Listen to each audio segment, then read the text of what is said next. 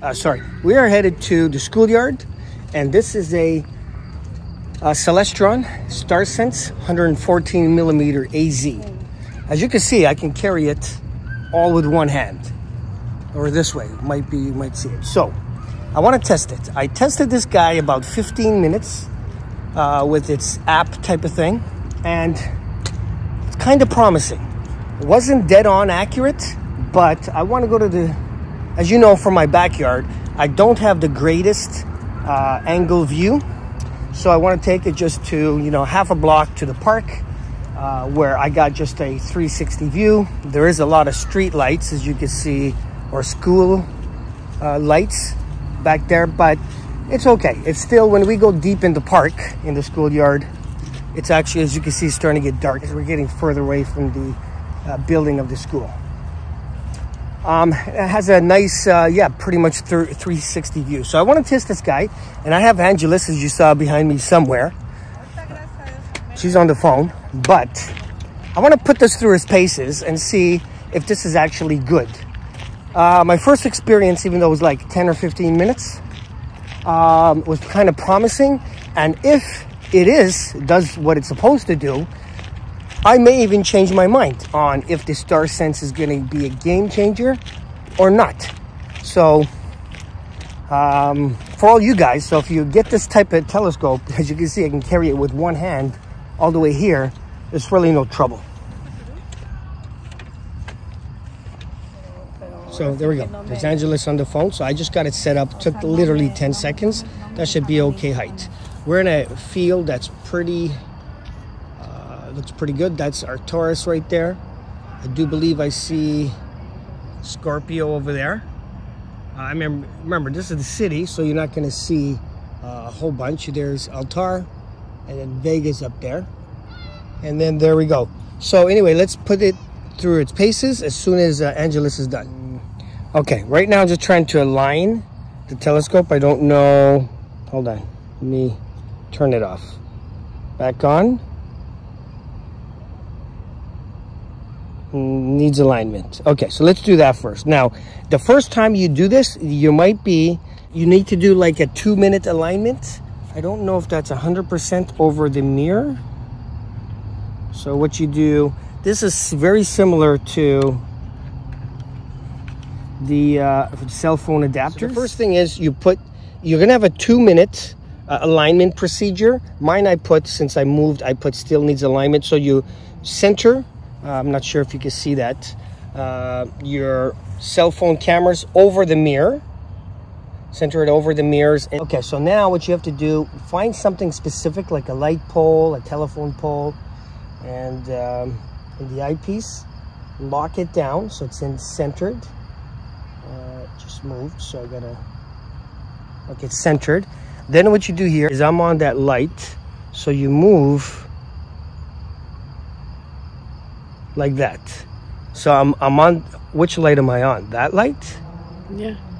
Y yes, we're on that light. So then you just move this there, done, and it's ready to locate stuff. Okay, let's try the wild duck cluster. So then what you do, it should be right there. Now let me lock it. Hold on, it's not focusing. Let me take close the light. We're gonna go try Saturn because then we'll be able to tell. So let's go like, where are you? Saturn, did you see that? So I punched in Saturn and now I have to go and it says Saturn should be right there. So let me lock it down.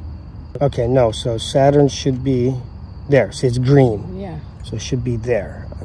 If it's right, it should be, oh, okay.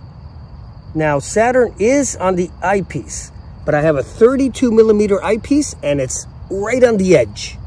Now I'm gonna put it in the middle and then we're gonna see how far we're actually off from the, the um, so this is like in the middle. You can see it's saying Saturn is right there, but I'm a little bit just to the left, a little bit. So take a look, babe. Tell me what you think. Yeah. Okay, do you see it in the eyepiece? Yes.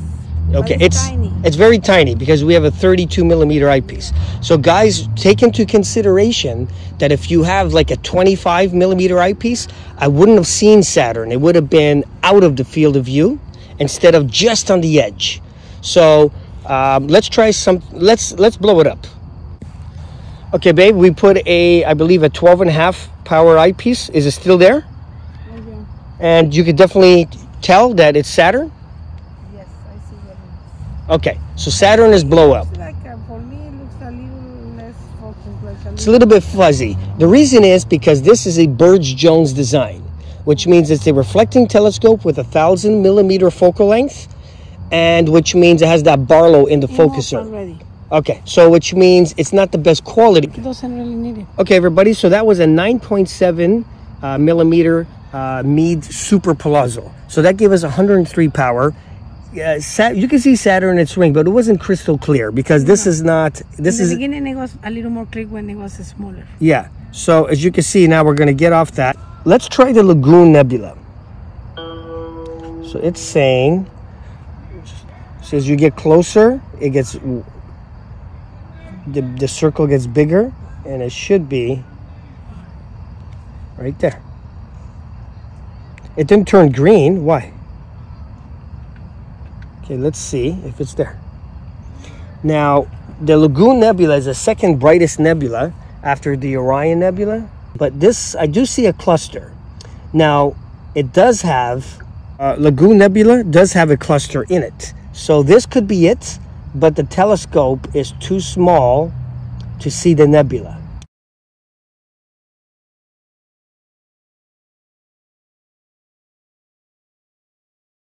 I don't think. Okay, let's try M25. So again, it's. See, I'm on target. Do I have to do it again? See, it's not turning. Maybe it takes a minute to.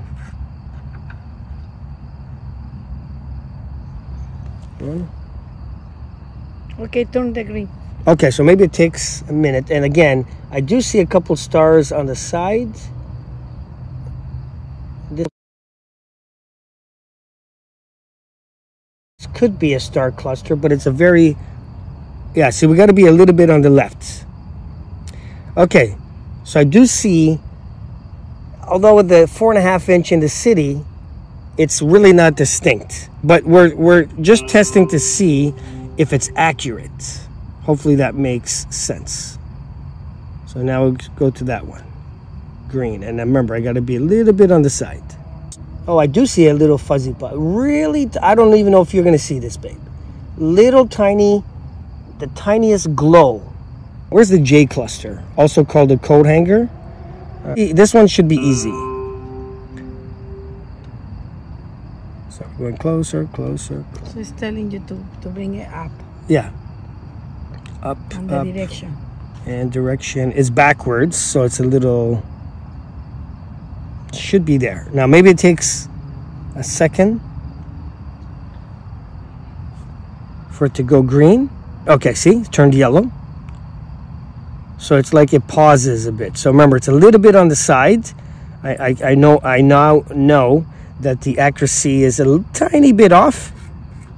So if we look in, you can look in. Yep, I see it. And we got the J cluster. Now I'm going to show you, babe. So it's upside down. So it's like this. It's upside down like this. You understand? Like this, like that. Take a look and see if you see it. And what I have to see? There's a J cluster. Looks like an upside down J. Ah, yeah, yeah, yeah. See it? Four stars, no? Yeah.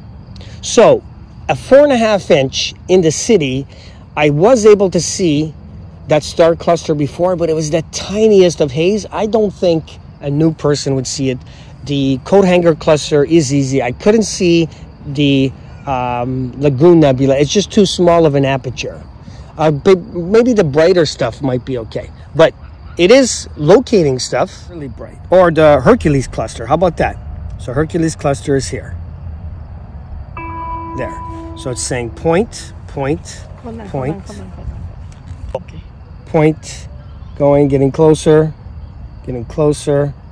So, you know what? For new people, do you see how I'm doing it? That might be the best thing for new people.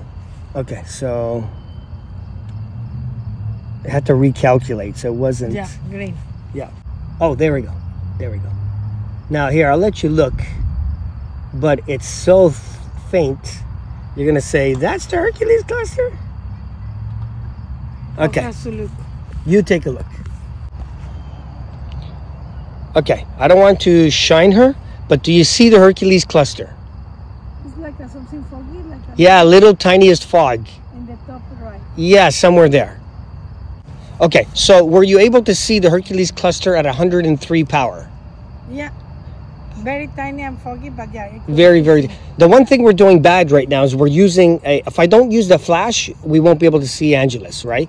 But right now, if we're looking, this is called the deep sky stuff. We're not supposed to be using any type of white light at all because our eyes are not adapting. Does that make sense? So that's not the greatest, but at least you guys can see. So so far, it looks like the aiming is literally really fast for any new person. You touch the screen and move it. That's it. And it tells you the direction up, down, right, left. Yeah. Okay. Okay, everybody. So as we're now we're using my phone because well, uh, Angelus was recording uh, with her phone, and then my phone, obviously, because I have the app, I, it was on the telescope. But her battery is at down at two percent. We just looked at five or six items. Now, a lot of the deep sky objects, like the lagoon, well, it's a little hazy today. But a four and a half inch is a bit small for deep sky stuff. They normally say when you want deep sky stuff, you need eight inches and above. Just so you guys understand that. A four and a half inch would be good for the sun, moon, and planets, a few double stars, a few of the brighter clusters, but you're still limited. It's still a starter telescope. So if you want to see the deep sky stuff, you need at least an eight. And I've done a video called What is the Best Size? Um, when you live in a big city like Toronto or any other big city, you need to be minimum 8 to 12 inch. Now, let's talk about this guy here. Now, you guys saw that I did a video uh, on the Star Sense and what I thought. Uh, basically, that was that the cost of uh, it was mainly about Celestron has not done a Dobsonian in about 22 years. Now they do have other uh, Star Sense like this one's a, a reflecting telescope, but that one was mainly about the 8 and 10 inch Dobsonians, and I didn't give it a such a great review because I have used all kinds of Dobsonians and setting circles, go tos, whatever, and I just thought their version is a lot more expensive and all it is is a cell phone ho- holder and the app. So i kind of didn't give it the best review but the technology i am changing my mind and i am to give this i think a five star the star sense so for you guys out there and there was a few people and i'm to say eddie thanks for even though you gave me a lot of crap uh, because you bought one and you used it and you said it was a game changer. I am also to say it's a game changer now. And everything that I said on that video, I'm taking back.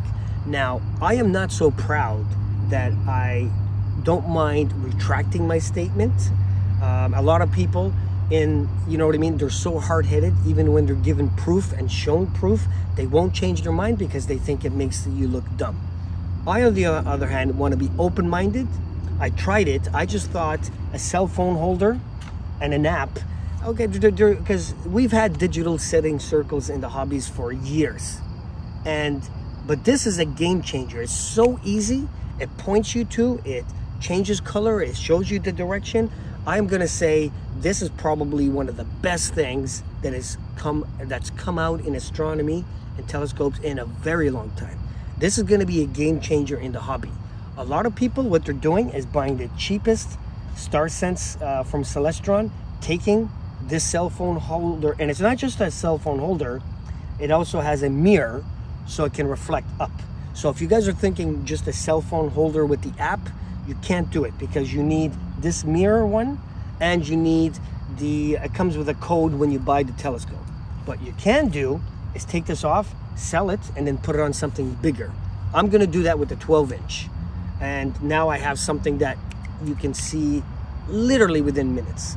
Um, now your first time, maybe to align it and get, you know, accustomed to it, might take a, a, a little bit. But once you do that, this is I don't know, I would say amazing. As you saw me and Angelus, we looked at five, six things like that. So if you are brand new and the go-to procedure is just too hard for you, this is a I'm gonna say, have you ever heard they say that there's books called computers for dummies or whatever? This is gonna be a computer or a software for dummies. You cannot go wrong. So I'm changing my mind. I think the Star Sense is gonna be the new way that people are gonna be observing. There's only one caveat that it doesn't do, okay? This will help you find stuff literally in seconds, right? But it won't track, okay? So if you can get the star sense on an equatorial mount or with slow motion controls, that'll be a lot better. But on this kind, the AZ3 or, the, or anything Altazimuth with no slow motion, you're always moving it by hand and that's not so fun. And mind you too, this is also Bird-Jones design, so it's not the best quality. So as you saw with Angelus, he said, okay, I can see Saturn, but it wasn't so clear. It's because this type of telescope doesn't give you the best images. Anyway, guys, that's it. So if you guys want to try something new, try this guy out. If you're thinking of a go-to, this might be even easier than a go-to. It just won't track for you. So that's it. Joe Jaguar, I am changing my mind. This is the new standard. This is going to be the new way to find stuff, I think, for the new people and the older people uh, like myself and I give it a thumbs up. So there was three people that said this is going to be a game changer, and unless I actually try it. Um, so for you guys, thank you for complaining. I don't mind uh, changing my mind. I'm not that hard-headed. A lot of people wouldn't even do a video of changing their mind. I don't mind. So again, like, comment, subscribe. I'll see you guys on the next video. And Joe Jaguar, why not you? Why not me?